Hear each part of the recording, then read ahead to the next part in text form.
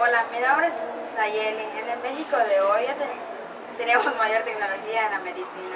Ya contamos con mayor educación para todo tipo de personas.